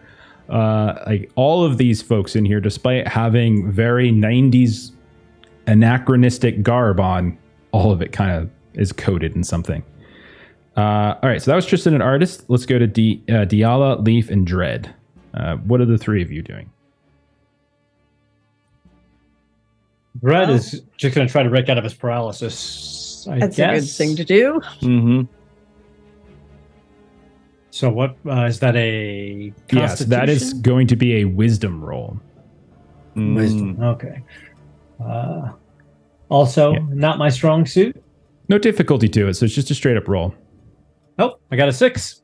Okay, you feel yourself become paralyzed. Uh, you can you try to speak. It's very sluggish. Your voice, even your vocal cords, for a moment, almost feel like they just don't want to move. But as you concentrate, hatred of this guy coursing through you almost kind of warms you up a bit and begins to sort of reignite your your desire to do something. What would you like to do? He's on fire too, by the way. Deacon just whispers to him, Davy. Well, first he reclaims his D4, and then he goes, Davy, I was mistaken. You're afraid of the very breath in your lungs. Expel it out and never let another sip in. So I will Just attempt to straight up murder him. Straight up attack. Yeah, this is You're your. afraid of the air in your lungs. Yeah. Yeah. So those of you nearby, Tristan, you would see this. Uh, probably Diala, That's maybe. Actually, no. I Oh. would think the two of you are probably up by the by the other ones. So definitely Tristan. More of those like Dread's face right now. Shadows melting down, reflecting that flame in some ways. It almost looks like an oil slick. For a second, Tristan, there's maybe concern that the fire is going to flip over onto his face, but it doesn't because Oh, this no. these liquid shadows are just something else. And I would say, you know, to, to a degree, Tristan, like you've seen this before, but every time it happens, he is very, very terrifying to look at. Uh, okay, how'd you do on the roll? I got a intensity of six, so that's just straight up death. It's- Supernatural you- level of doom. So you watch then, uh, Dread, Tristan, and then I would say Leaf and Diallo, you can hear this as he kind of implodes. He just begins to fold in on himself, and there's this hideous, sickening crunch as bone after bone after bone begins to just take these very minor folds, one after the other after the other. Like the painful scream that's coming out of him at this point, it begins loud like a normal scream would, and then it just slowly gets higher pitched, more childlike, more desperate, until finally all you see left is this compacted, flaming ball of junk that falls to the ground, burns, and it's this effectively dusted charcoal briquette on the ground. Dread puts his boot down on it and just crunches the last of it. And he just turns and looks at Tristan. He's got a smile on his face. Thank you for the assist, Tristan. My pleasure. Uh, Huh? Ah, yes. God, I still hate you so much. there it is. I Uh, love you too. There it is. All right, Diala and Leaf. Uh, you've still Leaf? got a couple of these others that are here. Leaf will lean into Diala. I don't know what's more disturbing the fact of crushing a person into a little speck of dust or the fact that they just high fived. Uh, I'm gonna go with the first, but Yeah. yeah. it's fair. Uh, yeah, yeah. I, I think that's the more normal answer. Uh, and Leaf is just going to like swipe down with the scythe, uh, sort of a trail of green energy left behind as it goes. Uh, little obols will appear in the air. And I'm going to try to do a, uh blast attack at one of the remaining uh, ghouls. Fantastic. Uh, defensive one, but otherwise, yeah, rip it. Uh, yes, and because I'm using um, the Reaper, I believe I get an advantage. Yes. Okay. Cool. Cool. Cool. Cool. Eh, dice. Uh, that is a six, a six, five, a four, and a ten on the d12. So I don't need to worry about that one. Uh, so that's four hits. Now, Dread, did you take any damage at this point in time, or was it just paralysis? Took guard damage. Okay. Uh, oh, which, guard damage. Which will regenerate at the end of the. yeah, I, I can't do anything. Uh, then instead of uh, healing, I will do um, an additional hit. So I will do five wounds instead. Okay, one of those successes will go away because of the defense. So I think you ended up with three defenses, and so so if you do three defenses, or Mhm. excuse me, three hits, uh, Mhm. is it just straight three hits, or do you have anything special that goes on top of it? Yes, because I got two sixes, a four, and a five. So I got four dice in total, which means I triggered my special, which does two wounds instead of one on one of them. So it's still four. It- yes, you're right. It counts down from five to four, but that's still four. Okay, still four. All right. Yeah, so still four. four's total. That will burn through all of this one's guard. And you're attacking one of the ones that destroyed one of your skeletons, or are you attacking the one that is currently um, hanging out with with with uh, Jeeves? Oh, I'm sure Jeeves has that one. Okay. So if that's the case, these others have been already hit. They've lost a point of guard. Uh, and you said four total, right? Yeah, so just like these little uh, tokens that one would see on the eyes of the dead appear and just shoot out at one of the ghouls that uh, took out my skeletons. You see uh, it just with perfect precision. It charges at them. Maybe they don't see you. Maybe their head is head is you know is sort of turned. It goes right into the back of its head and pops out the front, and you can now see directly through it to where those glowing kind of artifacts were that artist was rummaging through on the other side as they were about to kind of close it on Diala, it looks like, and they just fall to the ground. There we go. Dealt with. That is one The rest down. is your problem. All right, so we have Paris, who's with Jeeves, and then we have one more that's left. Diala, uh, what do you want to do? Okay, so are these two anywhere close to each other? Uh, These two ghouls? I think because Paris was specifically fetching a thrown coin, that I would say is Sure, sure, probably sure. not near. Yeah. Yeah. Okay. Then I will uh attack the other one then. Fair enough. Okay. So my strength is three. That is a six, a six, and a three. okay. Six and six and a three. One of those sixes will go away because of the defense, but one is remaining. So you still have one. Do you have Okay. anything that you trigger with specials? Uh so do I have to have an extra success in order to get a special? Nope. Like do Nope, I have you to have a, to s- six. Okay. Mm-mm. All right. So the special is if this hit removes a guard from your foe, remove two instead of one. It does, in fact, remove guard. He's got no guard left. Okay. So you do manage to swing out. It's not as perfect a hit. It's not a one shot kill. Uh, but as you slash through their back, where these various tour dates were uh, of whatever shirt that they were wearing, you just see a splurt of this dark, viscous red blood. It's it's it's red, but it looks definitely looks a little strange. There's something about it that looks a little bit tainted, uh, and they quickly whirl on you. And I'm just going to go ahead and say they swing at you because they're right here. Uh, and Yep. it's their turn. Uh, do you have any defense? works. Uh, I have one defense. Yep. Yes. I only I rolled a two four two, so my my hot streak is ended.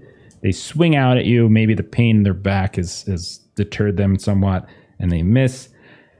Meanwhile, uh, Paris has wandered over and picked up the coin. And like, okay, are you ready? Uh, I'm gonna throw it, and it's your turn. And so he throws the coin and puts Jeeves back down on the ground. What does Jeeves do? Like so, where whenever he wa- was he like near an edge of anything? Like is this is does yeah, this why not? There's a there's a hole drop into the and you know back down into the water where you guys came up.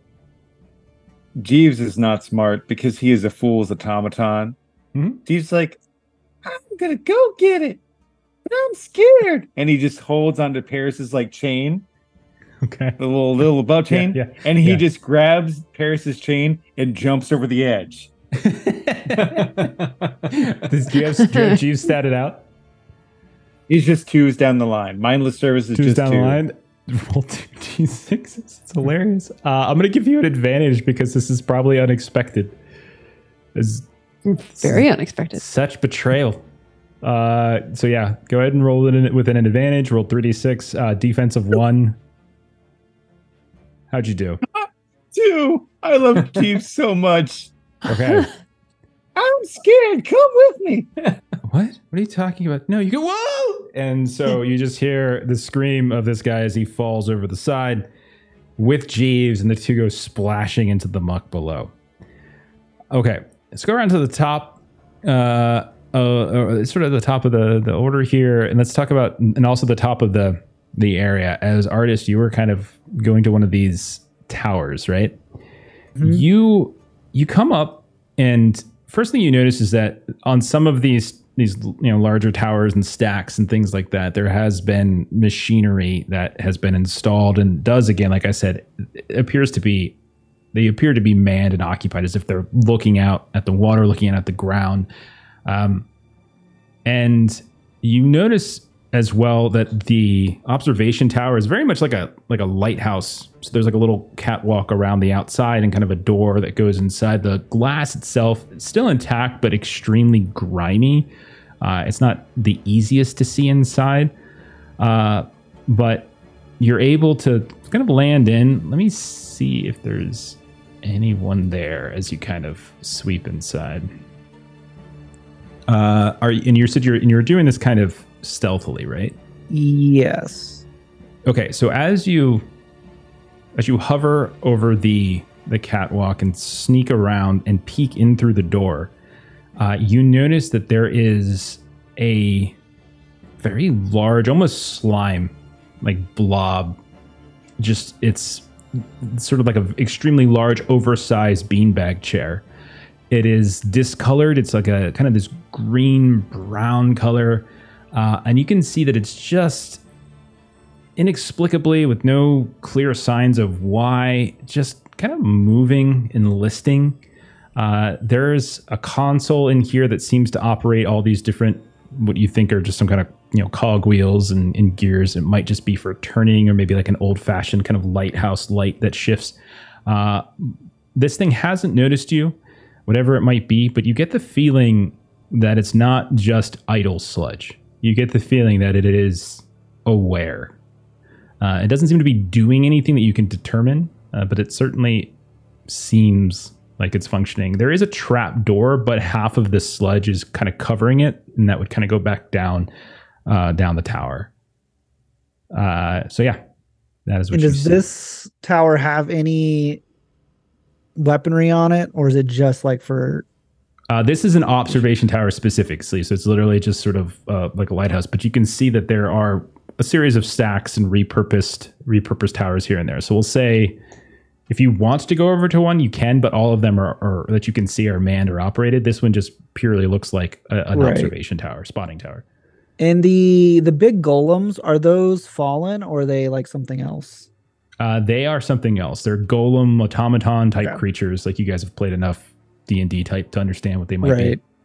Um. Yeah, I think he will. Um. Knowing that this gelatinous cube doesn't see him, he is going to basically try to uh fly to like the where the ceiling or the roof would be, and he's gonna like spider walk on the roof of it to get towards the console and try and Okay. go like above where this creature would look and try to hack the console while the creature is just you know unaware.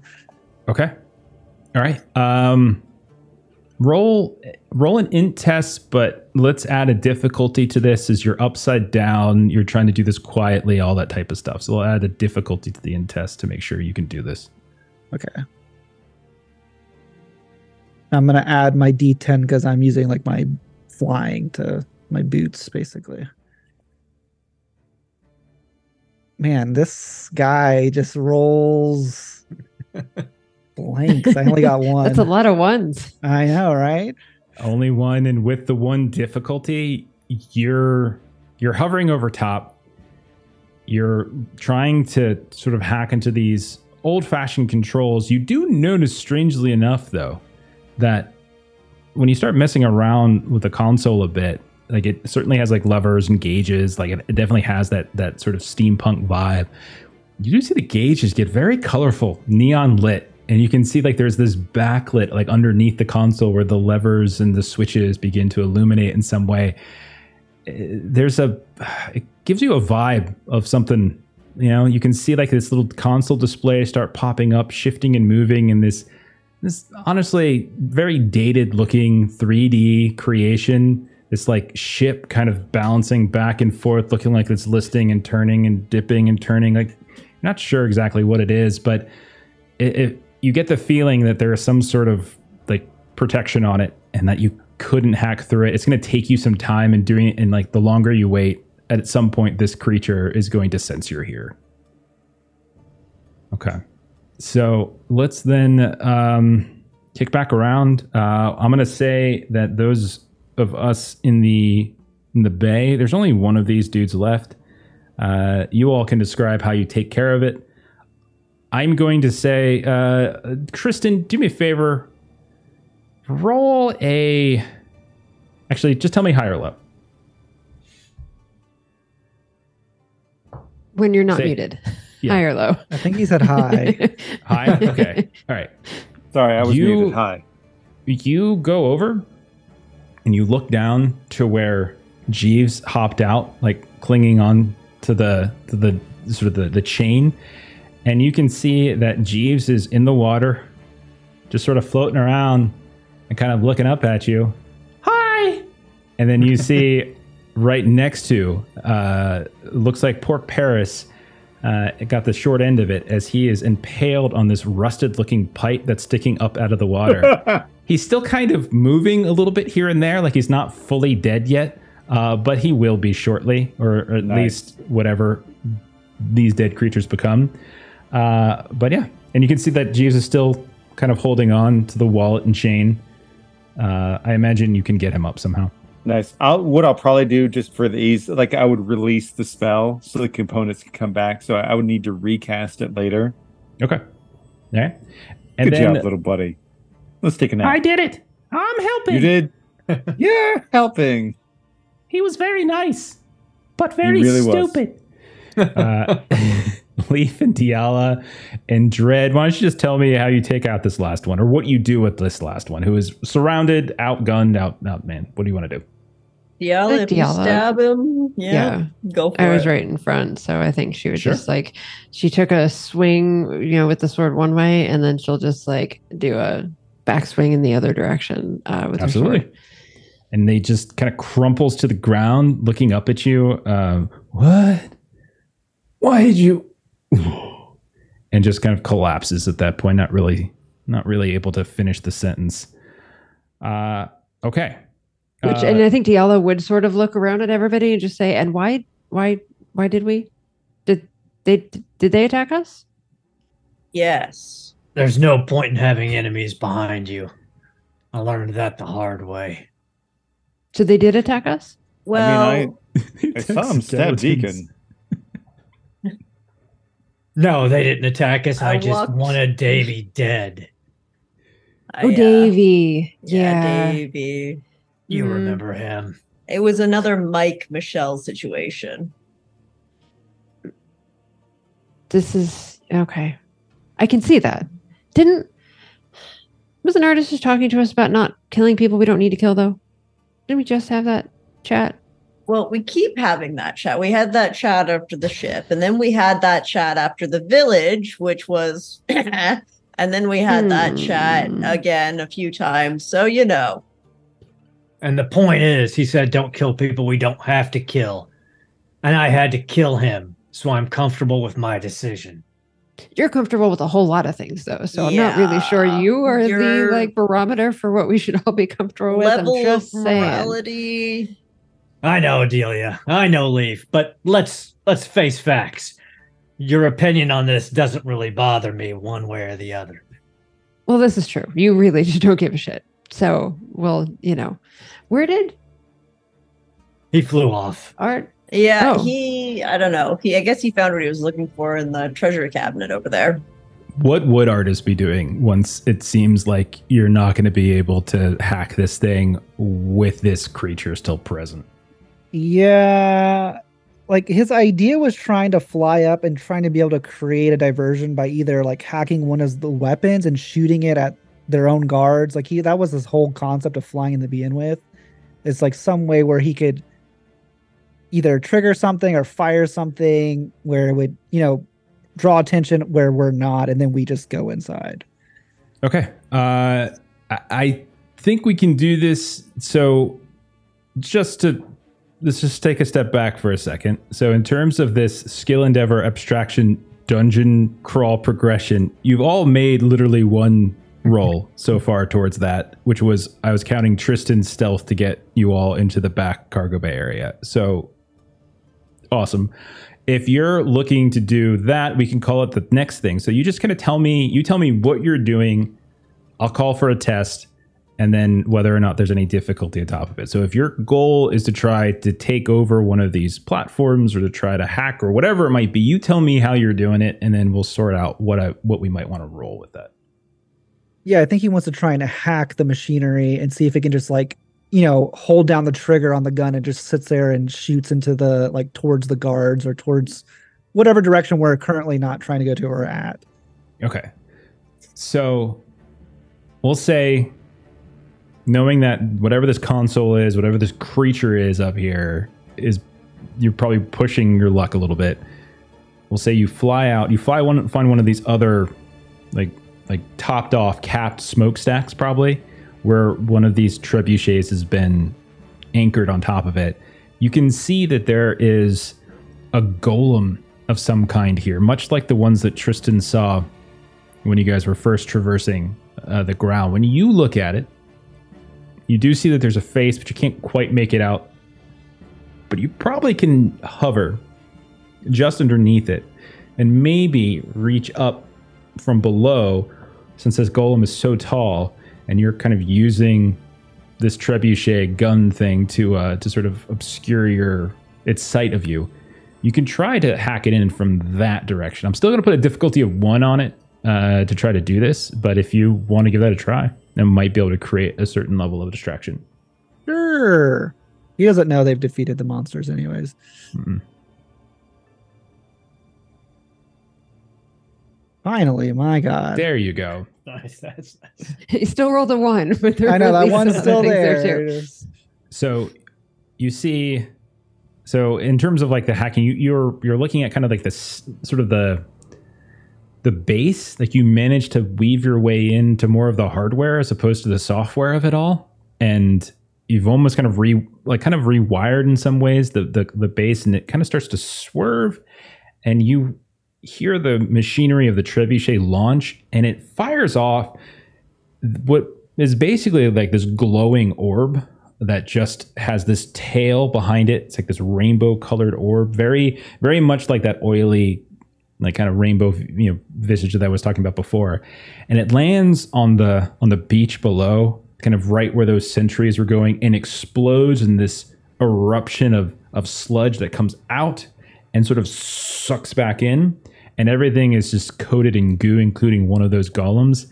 And you just kind of keep doing that for a little bit. And you almost leave like this this like this little set of circuitry in place in a way that's going to automate it until someone notices it. You can hear the golem panicking a little bit. Error, error, error, error, error. And you just kind of leave it there and begin to sort of drift back. Those of you, uh, I would say, Tristan, you were outside ish or just on the edge. You can definitely see some of those, whatever it was that were flying, whether they were gargoyles or whatever it might be. You see them are, they're like making a just a beeline up towards those, the tops. You hear explosions coming from back the way you came. I would say you can't really see it, but you can hear them just exploding. And then we see artists suddenly appear from above.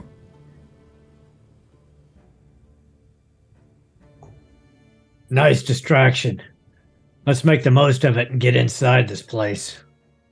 Yeah, I mean, we can do that. I was wondering, I mean, I can fly and it's a really high wall. Do we want to just fly up on the wall? Yep. You can fly. The rest of us can't Yeah. fly. Well, I can bring one of you at a time. Forward we go. Okay, so we looked into that. Don't no, you can't. Trust Oh. weird Yeah. flying things. There's no way I'm getting off. The there with extra you. weight of another individual would radically destabilize the lifting of the jetpack, so you wouldn't really be able to do it. You could probably carry Jeeves, but anybody else, like if you try to carry a full other person, you wouldn't be able to do so. From you have cool things that you can do with your pack. Our feet are on the ground, and we're going to Uh, go yeah. forward. But you got fair that's gold. True That's good. science fiction. That's not happening to me. Um, in this loading bay, uh, how many doors do we see out of here, or what sort of exits, windows do we see from here? Oh yeah, there's there's tunnels that go right into the sludge factory just fine. Like nothing's covered. Like yeah, no problem. Okay. If you go flying up, it, do we need to follow the path of the ley line? Is that's what is that what'll get us there? From your map that you had there, artist? Sure. Okay, Well then easy peasy. I'll just keep casting detect magic for the ley line. Uh, you know, I can I can actually detect magic if I wanted as well. If you wanted to not do your version of it, I swing at things and I hit things. I we're we're we're going through the door, yes, and that's yeah, yes. yeah, yeah, yeah. Yep. Okay. Deacon's already walking Just- down a tunnel. He's just thank you. I just want to remind you guys that the whole idea of the sludge factory was that there was a hidden intake. Like you were trying to literally get through like this intake tunnel into the walled city, which doesn't just have walls, but I has a remind rooftop. you, So we're a group of players who are going to shenanigan, and you can't stop us. We're going in. We're we are going in. I'm, So- I'm Made it through following the Dread. I'm and we're going uncomfortably flying in the tunnel. I'm following Leaf. Um, quickly though, while we are following behind, uh, Leaf is going to swipe their hand along the wall of this tunnel and try to summon uh, some little animal skeletons to scout the way for us a little bit better. yeah, go right ahead. Since my other skeletons got uh, mercilessly killed so quickly, uh, no, I don't get any skeletons. There's nothing here. That's a Okay. one three three. Maybe we Another maybe one. just get like a fish Mhm. skeleton that can't move. Oh, yeah, that doesn't work. Never mind. Just step on that, would you, Tristan, as you're behind me? Fish Yep. skeleton. Okay. Uh, so yeah, if you're pushing in, uh, I think Dread was the first to say that. You kind of start moving down the tunnel a bit. Uh, it's again everything's sort of this rusted, rusted view of everything like metal. You don't really see any signs of any any other kind of any other sort of sort of materials or substance. Uh, grime everywhere. You can see there's some some stuff seeping through uh, the various seams in the walls and in the floors and such. Uh, at a certain point, it does like the tunnel kind of ends. Uh, you can hear the sounds of dripping up ahead, and when you step into like this this room, uh, you can see that there is there is a, a sense of of discoloration. There's lights that are kind of illuminating it, dread, kind of coating everything. And I would say, artist, with your speed, you're quickly there as well. And the two of you can see like the whole room. You can hear the sounds of like dripping and dripping and dripping, like just the sounds of of this constant sound of water dropping into something else. And everything's discolored. Everything's like this sort of array of very colorful, uh, colorful coating, shifting and moving, almost like the, like being in an indoor swimming pool. And as you're moving around, you do notice that there are a series of pools of water in the room. Uh, all of them are they when you look at them, they're like the water itself is kind of this gray green, but you see all these little chunks, these little tiny little chunks of like of various metal in them that seem to be giving off that same kind of rainbow glow that you saw in some of the objects by the workshop artists. Also, the ammunition uh, of that trebuchet. Uh, and as the so we'll say the two of you are in there first. This is what you see. There's I would say there's uh, maybe three of them. Yeah, there's three of them about the room. Uh, it's again a very large industrial sized room. You see these old vats as well, but they don't seem to have anything in them. They've been like ripped down the side. And even though they're standing like 10, 12 feet tall, you can see there's these big chunks that have been taken out of them. Uh, and whatever they did store at one point is long gone. You can walk in and out of them with ease. You do hear the sounds of and sometimes as you're looking around the room, there is a very large shadow that's being thrown about here and there. You think somewhere in this large room there might be one of those automaton type creatures that you saw outside. Uh, and that's yeah, that's it. What do you see when you go inside?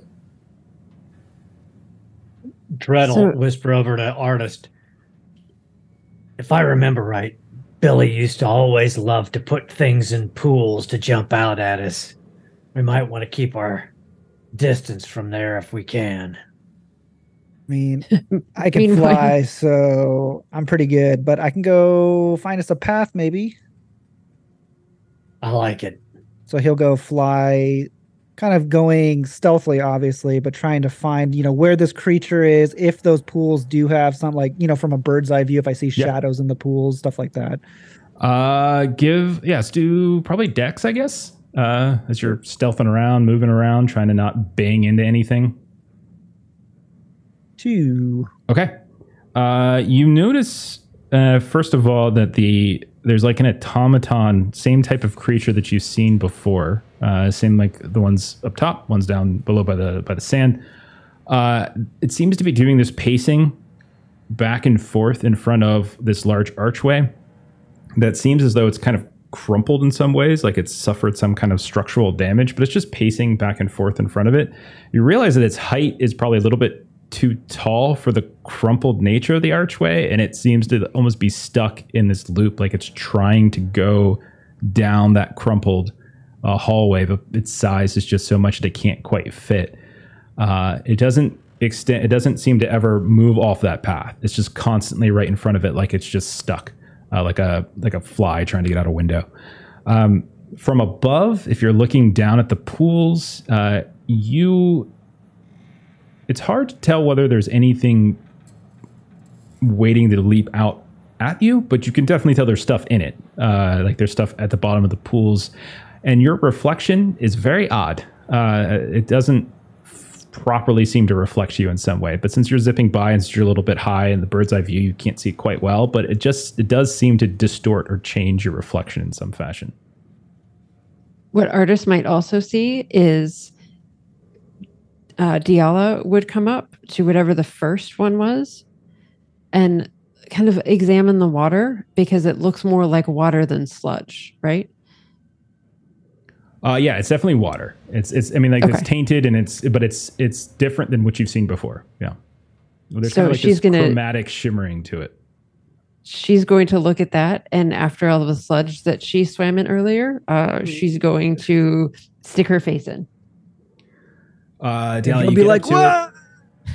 you go to stick your face in it, and as your Oh, face comes very close to the surface of the water, you you see a reflection. Yeah, Uh, your reflection's gonna grab your face. It is not Diala, 33 year old Diala. It is 17 year old Diala, 16 year old Diala. It looks very much like the Delilah uh, from, well, that day that you got into detention and you first met these people. What does that look like, Delilah, as you go to lean and you see suddenly see your teenage self in the reflection? So she's looking down and she's expecting to see a shaved head and lots of kind of dark eye makeup. And what she instead sees is this kind of longer, dark hair that's just sort of poking out underneath uh, a pulled up black hood of a hoodie and no makeup on whatsoever. and it's it's extremely clear. Like the reflection is is abnormally clear. Like you're it's like you're looking through, you know, a vacuum tube type TV. You know, from it, it's still it's still distorted in some way, but it's not like looking in the reflection in actual water. Like you see your face. Like as you tilt your head, your head tilts. You raise an eyebrow, your eyebrow raises. Everything kind of works out. make in the manner faces. that you do. All of those faces are reflected back at you as your teenage self. and for a second she's like oh i looked young again um and uh and then she just kind of looks around to everybody and sees if they're there yet it's it's What? It's it's me but not me it's What? look Uh, okay. look down Yeah. And anybody What who looks see? into it, Leaf. same thing. You see yourself as like a 17 year old or 16 year old, however old you were when you first met. Well, that's weird. You still smell really bad, though. i well i meant to clean with it but that's so and then so um she'll, Tristan like, will poke- open up one of his pouches and pull out a pack of wet wipes. I'll use my fool's prep for that, just for you. Oh, thank you. This, gosh, this sludge. I don't know how you've been walking around with this. This just smells. Can you use it on awful. you also, Sean? Yeah. I mean, Okay, Yeah. 'cause- ladies first, of course. well, thank you. And she'll kind of wipe everything off. This water. And so she'll try to see if she can cup some of the water. Reach in, yeah, cup some of it, no problem. Is Well, is it a little you in your hands? I mean, Yeah, if you look into what you've cupped, like you Yep. get the portion of your face that would fit in the cup right. of water. Yeah. Yeah. Yeah. Mm. Okay. That, I, that's just so, uh, um, and then she'll remember that the reason that she put her face down is she wanted to like look to see what was in the water. Mhm. And so then she's gonna um kind of close her eyes, hold her breath, and stick her face in, and then open her eyes under the water. Now you're just a different kind of smelly. When you dunk your head into the water, you look below, open up your eyes. Uh, you see that beneath the water, a couple feet down below, is a body. Uh, it has a very confused and somewhat pained look on your on their face, and it is a face that you are also extraordinarily familiar with, as it is yours. The body is yours. You can see that strangely, almost in sort of like this exaggerated form. Um, where what did Delilah get for plastic surgery more very recently? What was it that she had changed about herself? Um, I would say that she, um, let's say that she got a nose job. Okay.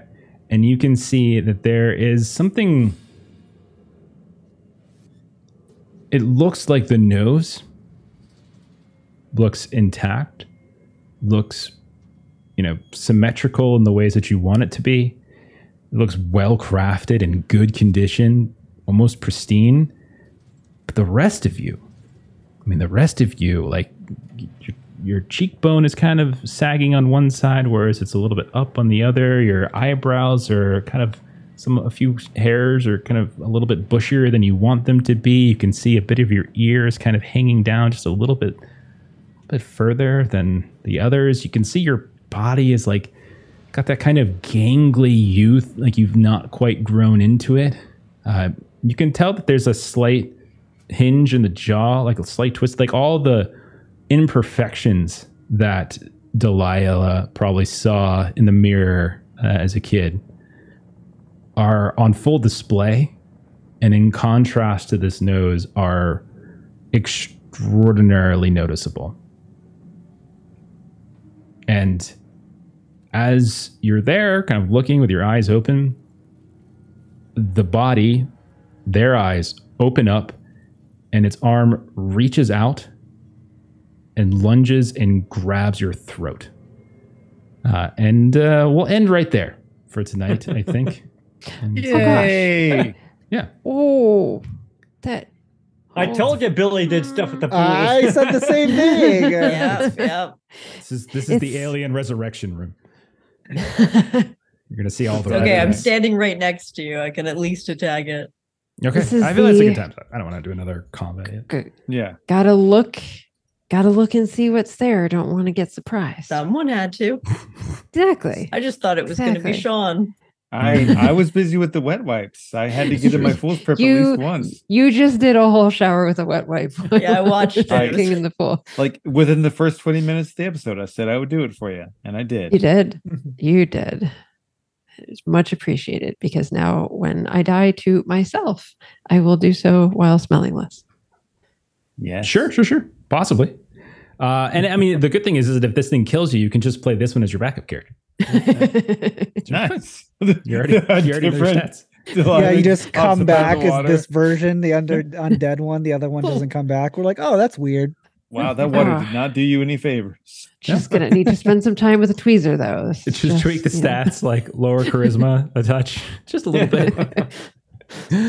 uh, all right, uh, let's go. Let's go ahead and do some closing plugs, and we will get on out of here. Aaron, uh, tell us what's going on with Garblag. Uh, on Tuesday at 1 p.m. Pacific Standard Time, Millie will be back running some more Coriolis. And on Thursday, you can join Lewis for, um, I think they're done with the prologue. So it should be the first episode of the season three of the One Ring show there, uh, the Ballad of the Bardings. Yeah, I watched a little of that today actually because I was Yes, uh. I wasn't in work. I wasn't at work this afternoon, so I got to see some of it finally for the f- first time in a long time. Uh, let's see, Jeremy, tell us about the the Patreon. Yeah, Aaron Reese on Patreon. If you got comics, maps, tokens, other fun stuff, check it out. Why not? Why not, indeed. Uh, and then Evan, uh, what do you got going on, man? Nothing. nothing. Absolutely nothing. Okay, fair enough. Uh, as for us here at the Lollygaggers, we've got other games. What do we got going on? Uh, tomorrow night, we're going to be back to Delta Green. We're starting up a new scenario of our, our second campaign of Delta Green. How so it's new dare you do that when I'm traveling and don't have internet? How dare you? Never mind. Oh, Game's sorry. canceled. Uh, and uh, Thank you. No, no. uh, but yeah, we'll be around. Uh, sadly, sadly, Keeps will not. So, but it'll be on VOD. It's fine. Uh, then uh, Saturday we're doing some One Ring as per usual. Speaking of One Ring, Monday we should be back to Call of Cthulhu. At least that's what's on the schedule. We'll see. Uh, we'll see what happens. It's a very cursed game, which is fitting. Uh, Tuesday, you can catch uh, Kipser, Aaron, myself, and Melissa playing in some Forbidden Lands as uh, Stephen hops the GM seat. Uh, and then, yeah, we'll be back. Uh, we'll be back next Thursday with more die. Uh, let's go ahead and raid somebody. Uh, not critical role. I think they've got enough. Let's do. I don't know. Fem Gamer Party. There we go. They're playing Dungeons and Dragons, but that's fine. Uh, thanks for everyone going out tonight. Uh, thanks for those of you who are watching this later on the various other ways in which this can be digested. Uh, and we'll see y'all later. Bye bye. You. Good night.